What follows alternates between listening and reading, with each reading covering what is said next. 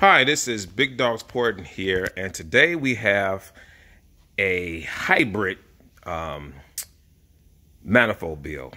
The customer wanted to run uh, a 351 Edelbrock lower. Um, you see, I think the part number is 3880 Edelbrock with a 5.0 old style Edelbrock RPM upper. Um, I'm sorry, not an RPM, an Edelbrock Performer upper. This is a Performer upper with a 351 Edelbrock lower. So we just cleaned it up. The lower was brand new. The upper uh, was used, of course, and we started cleaning it up um, just so we can do the before flow testing before our stage two porting. So this is a, a good example of what customers are, are doing.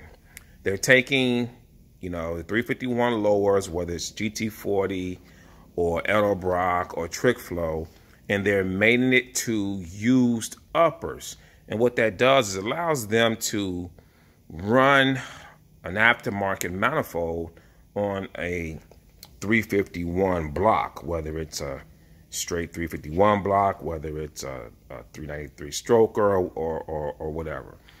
Um, but the problem is, and if you guys have been watching our, our videos, you would already know what a lot of you know enthusiasts don't know.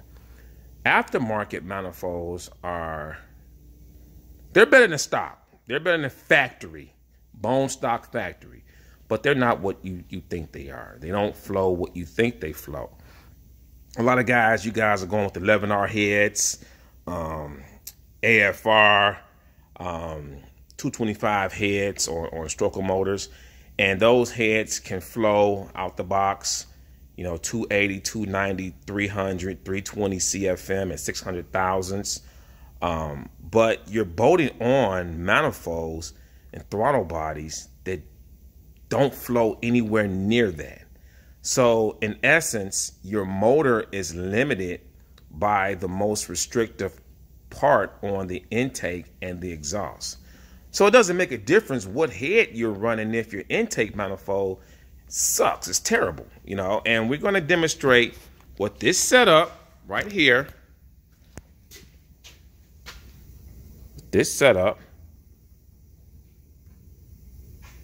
is going to be able to do after we start it back up.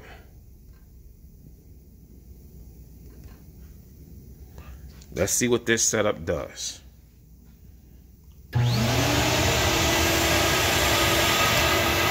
So this is the number one runner we're flowing.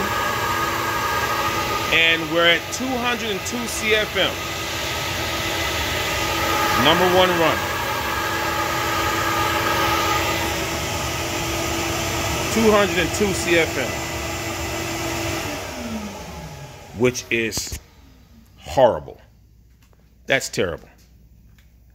And this is what, you know, if this manifold was cleaned up, you know, painted or polished and put on a motor and, and the guys open the hood, the first thing, you know, you'll think is, wow, you know, that, that's going to produce a lot of power. No. No, see, we give you guys the science. We give you guys the the engineering aspects of these parts. And as you see, this manifold pretty much did 202 on the number one. So we're going to pause it and set up the number um, four. The number four, and we're going to see what that does. So we have it set up for the number four runner. Um, if you're familiar with our videos, you know how we block off everything up here except for the runners that's going to be flowed. So um, let's see what this one does. Two hundred and two, three, basically two hundred 200 CFM, 201 CFM. Wow. Wow. 200 to 202 CFM on the number four. There is no trickery. there is no magic. This is what this manifold setup combination does.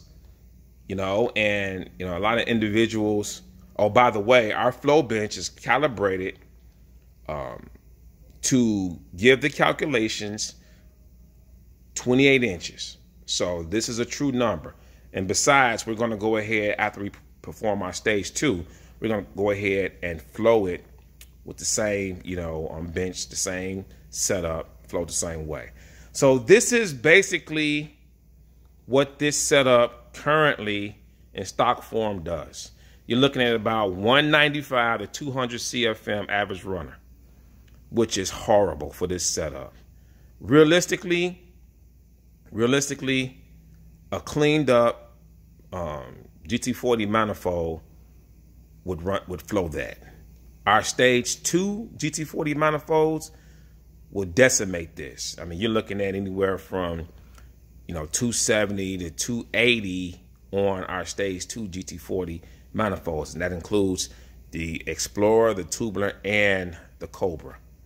Um, even our stage two 351 truck manifold uh, average running flow is about 235 to 240 CFM bolted together. So we, are trying to get you guys to understand that um, once we start porting these parts according to our specifications, we tremendously increase the flow. And flow, more flow, equals more potential to make horsepower. That's what it comes down to.